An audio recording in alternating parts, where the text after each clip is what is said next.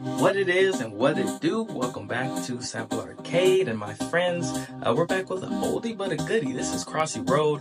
I played it years ago, back when it was on like the iPod, and now we're here going for a high score. Uh, got a little bit of cuts and edits. You don't have to sit through too much gameplay, and I will tag below where the last part is, where I beat my high score. So hope you enjoy. Please comment down below if you want to see some more.